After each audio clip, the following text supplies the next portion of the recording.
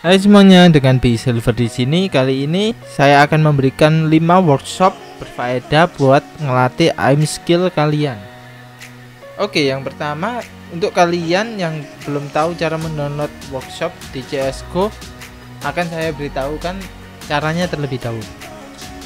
Pertama-tama kalian buka Steam kalian, kalian masuk library home kalian.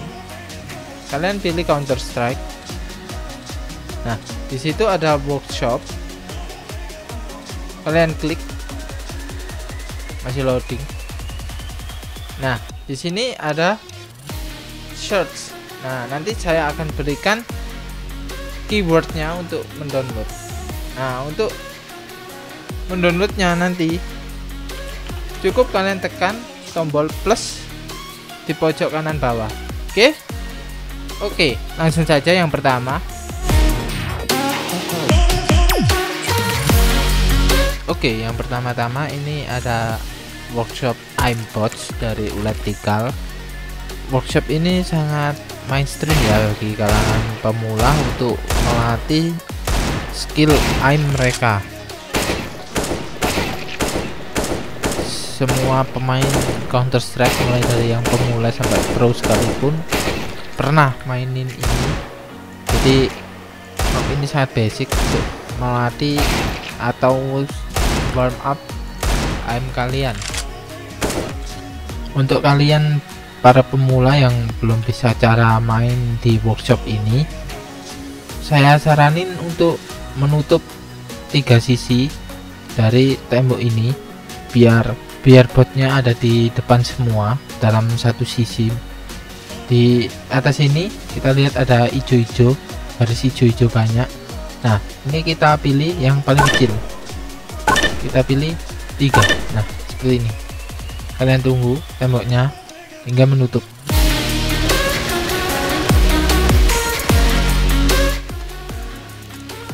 Oke, yang kedua masih sama dari ulat tikal. Di sini ada workshop recoil master.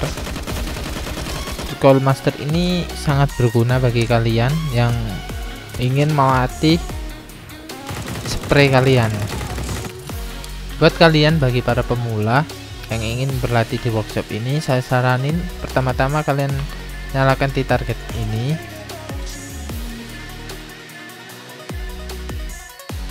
Infinity ammo mati. Nah ini di sini ada gambar sebuah musuh. Ini nanti kalian paskan ini di kepala. Kalian lihat cek pattern di sini. Dan jangan lupa crosshairnya nyalain ini kalian cocokkan crosshair kalian mengikuti alurnya oke okay? jika kalian ingin pindah senjata kalian lihat di sebelah kiri ini banyak senjata yang kalian bisa buat latihan jika dirasa kalian sudah mahir untuk jarak segini di sebelah sini kalian bisa atur jauh dekatnya oke okay?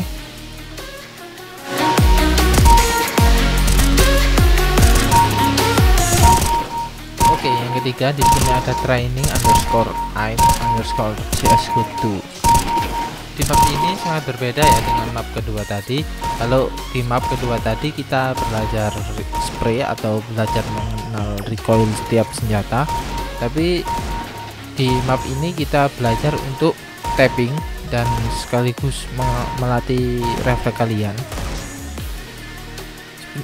Untuk pertama-tama kalian pilih senjata kalian dulu di sebelah kanan. Di sebelah kiri ada training mode. Tapi di sini untuk pemula saya saranin untuk memilih klasik atau reflect training untuk para auper. Di sini kalian bisa berlatih cara tapping tapping jika dirasa ukurannya cukup sulit atau itu semua ada di kiri. Di depan ada Goto level 1 2 3 ini adalah jarak target. Kalau satu itu paling dekat kalau empat ini paling jauh. Jika kalian sudah siap kalian tekan to kalian tembak tombol start. Oke langsung saja ke map selanjutnya.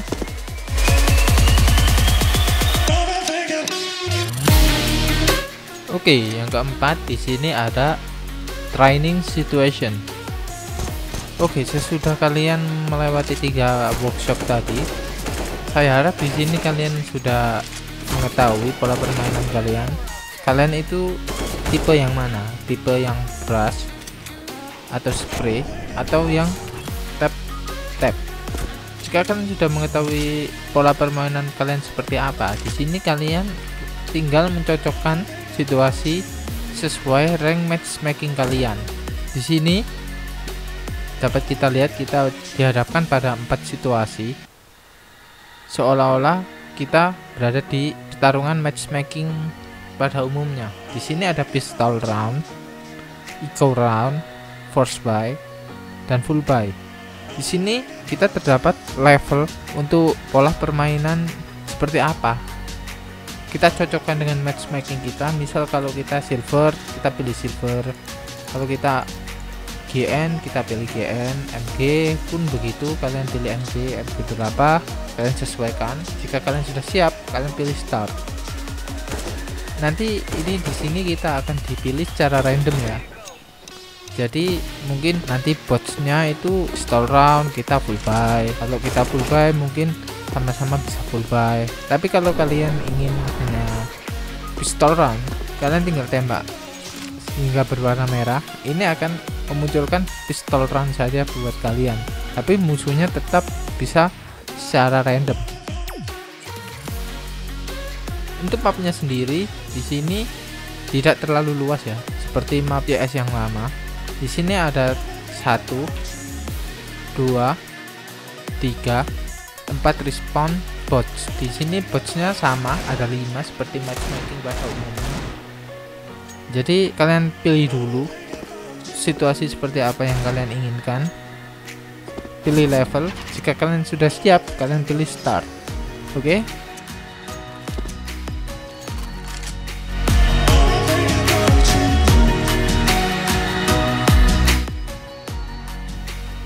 Jika kalian tadi di workshop yang sebelumnya disuguhkan dengan map-map yang tidak sama dengan map pertarungan yang akan kita buat matchmaking tadi, di sini mapnya akan sama persis dengan map yang nanti kita buat bermain matchmaking.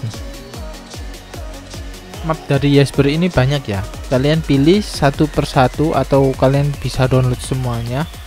Di workshop ini banyak sekali pilihan pola latihan yang kita inginkan ya.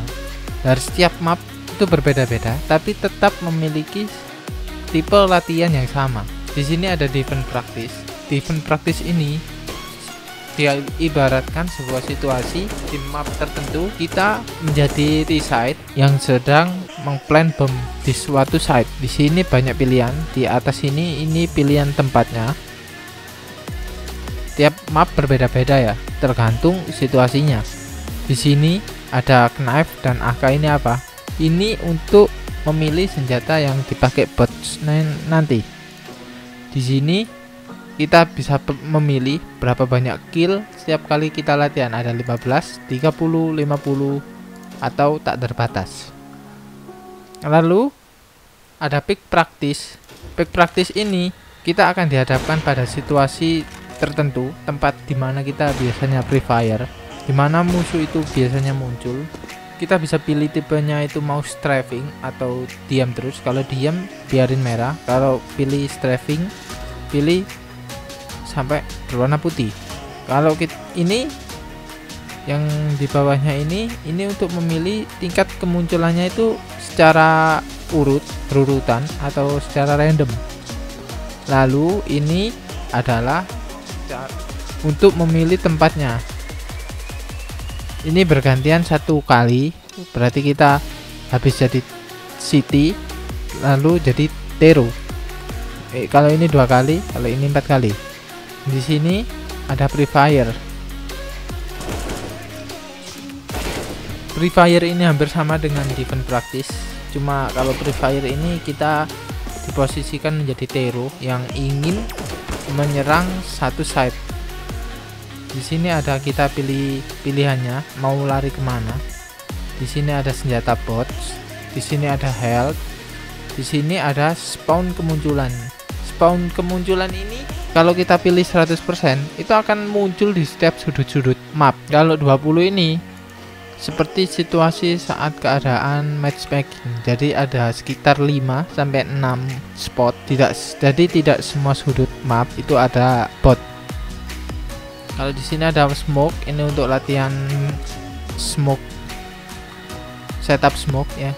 Seperti biasa ini ada tingkat keakurasian 1 meter setengah meter dan seperlima meter di sini ada fire practice flash atau praktis utility seperti biasa. Lalu di sini ada pilihan Infinity Ammo, Aim Ghost. Di sini ada Kevlar helmet untuk botnya. Di sini ada Friendly Fire buat botnya nanti kalau kita ketembak itu healthnya berkurang ap apa enggak. Di sini ada juga suara. Di sini ada health. Pilihan senjata. Ini kita pilih senjata terlebih dahulu. Jika kalian sudah siap tinggal kalian masuk ke lingkaran yang ada di tengah sini. Kalian cukup lompat aja. Oke? Okay? oke okay guys. Tadi itu 5 workshop paling berfaedah menurut saya. Jika kalian suka video ini jangan lupa like dan bagikan ke teman-teman kalian. Sekian video dari saya. Terima kasih dan jaga kesehatan. Bye bye